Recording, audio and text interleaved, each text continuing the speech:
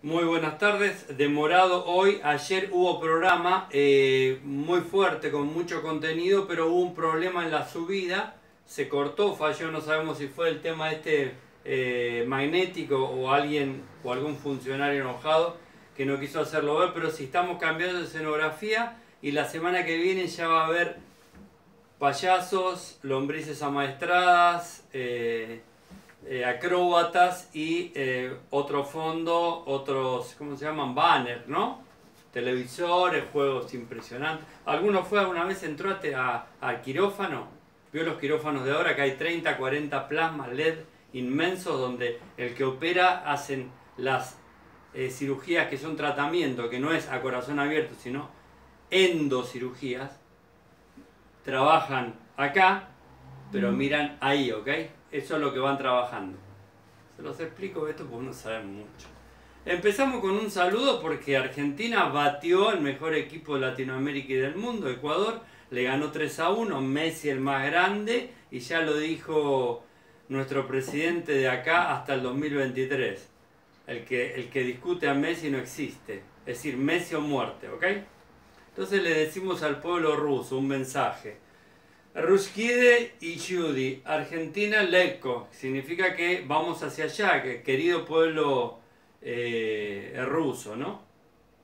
Kabalifit, Rushutsia y Budut de 2018, Godu Povillat y Treiti Ras Championis Mira Silurimet. Significa que queremos recuperar otra vez o ganar por tercera vez la Copa del Mundo que se llama Jules Rimet.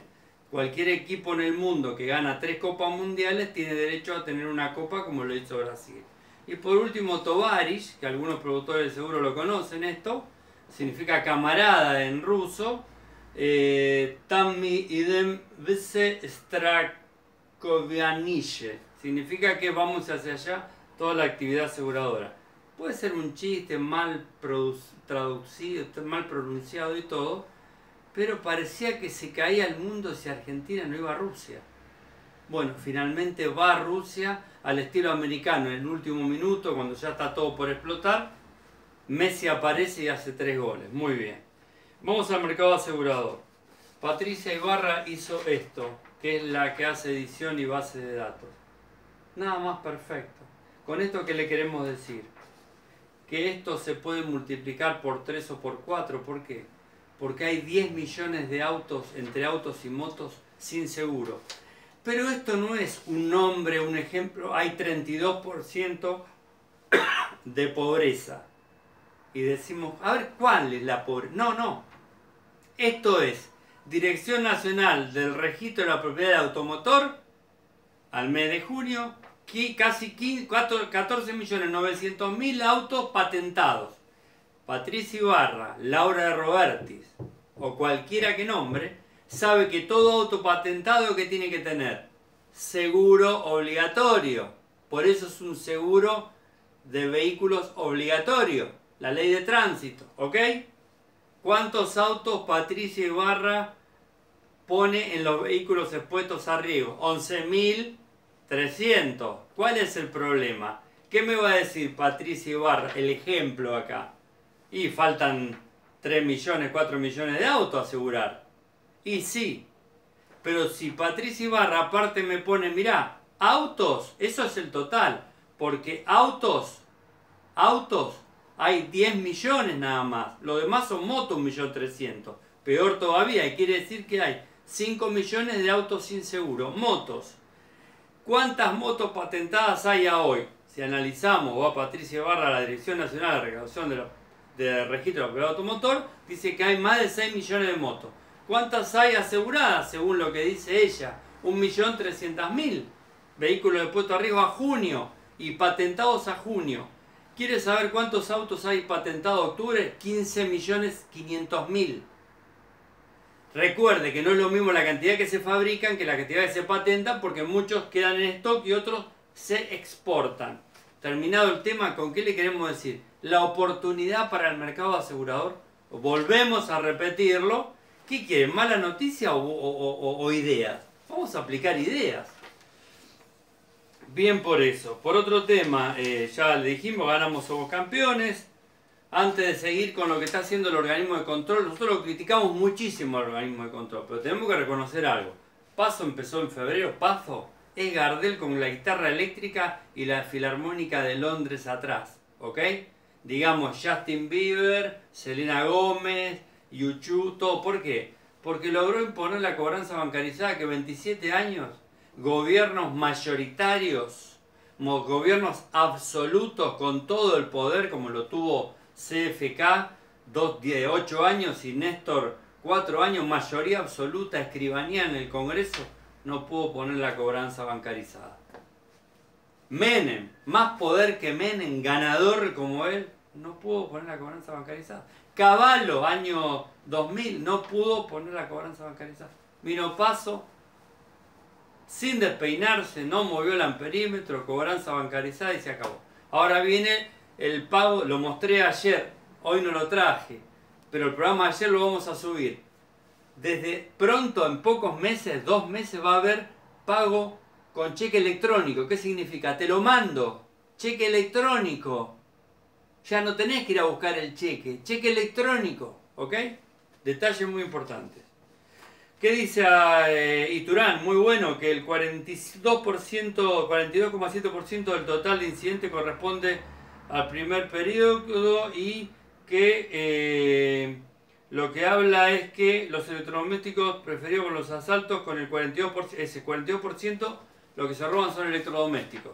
Y se viene fin de año, fiesta, todo lo demás, grandes robos. Por otro lado, lo que le sigue es manufactura textil y el 40% restante otros productos. Y habla de un gallo para Esculapio, la serie que actualmente se está emitiendo tanto por un canal de aire como por cable, muestra la logística utilizada por un grupo de malvivientes al robar un camión cargado de mercadería con el de varios vehículos de apoyo y uno uso de inhibidores de comunicación y todo lo demás. No le vamos a contar cómo se ponen los rastreadores en los camiones, pero mañana no esa le explicamos cómo hace alguna de las empresas. Vamos a dar detalles, que ya lo dimos alguna vez en algún año. Seguimos porque el tiempo es tirano y está por terminar. Le explicamos muy bien el tema de autos. Ayer lo dijimos, vamos a poner el programa otra vez, en algún momento vamos a editarlo y vamos a subir. Ayer hubo un error, no sabemos por qué, no se pudo subir. Eh, un nuevo eh, cooperativa agrícola, un agente institutorio, después una sociedad con Cagua Broker, después sanciona a Superville y sanciona a Virginia, pero artículo 58, que eso es por el tema de la fecha de la presentación de balances. Eh, y después, ¿qué más? Nada más que esto.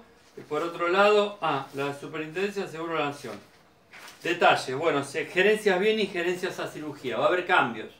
Hay gerencias, nosotros tenemos objeciones que el organismo mismo lo tiene, lo tiene paso, lo tienen otro, lo tiene el mercado, objeciones con la gerencia de inspecciones, con la de liquidaciones, con la técnica y con la de legales. Y con las relaciones institucionales, entre comillas, por el tema del parentesco, con un funcionario de la UIS, pero lo vamos a ver después. Y por otro lado, eh, objeciones con la gerencia de autorización y productor. ¿Por qué? Eh, fundadas fundadas cuestiones que tienen que ver con la capacidad de la gente que lo maneja. Ocho minutos, ya estamos terminando. Y por último estamos diciendo que el informe vamos a poner el de ayer con nombre y apellido porque hubo gente, aparentemente ayer hubo reuniones, les cuento, eh, un ex gerente de inspecciones, el hijo de, que es funcionario también, el hijo de un ex vicesuperintendente y un gerente del área de liquidaciones que salieron a plantear que lo que digo yo son pavadas. No, no son pavadas porque hay cuestiones judiciales. Cuando la cuestión, el expediente, entra a la justicia y lo agarra un juez, se acabó el comentario, tira bomba, amarillo, todo lo que quiera. Porque si uno es funcionario y hizo cosas, no tiene que decir yo tengo, estoy tranquilo, que no hice nada. No, no, pues están los llamados telefónicos, las reuniones, en las cuales algunas participé yo. Hotel Nogaró, organismo de control, bar de enfrente, llamadas telefónicas, pueden agarrar mi celular cada una cómo fueron las operatorias. Así que, que mensaje que recibí, así que, que eso lo tengo clarísimo. Por último, el organismo de control, RC Delitos Informáticos de Ciberataque. La nota de la Nación está muy buena. La Super está evaluando una cobertura que cumpla denuncia de terceros, daño de activos, perjuicio reputacional, eh, perjuicio reputacional y sanciones que puede llegar a, eh, a ¿cómo se llama? el de abajo de todo es eh, que pueda llegar a, a- hacia eh, que puede llegar eh, a, a dar eh, ¿cómo se llama?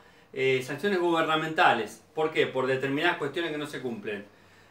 Por suma menor a 60 millones serían grandes riesgos. Eso es lo que, lo que está haciendo la super, porque más de 60 millones se toma como grandes riesgos y se reasegura, se asegura y reasegura directamente afuera. Coberturas y bonos verdes está trabajando el, el ASUPER con el Comité Nacional de Finanzas Sustentables para la- definir el marco regulatorio para la emisión de bonos verdes que financian proyectos sustentables. Ahí van a entrar las aseguradoras. Y por último tema, no sabemos si está trabajando o no, pero en el CISA no está la SUPER, que es Seguro Integral de Sistema Integral de Seguro Agropecuario, que está CRA, pero no sé si la superintendencia va a sacar un seguro integral, general u obligatorio para el agro.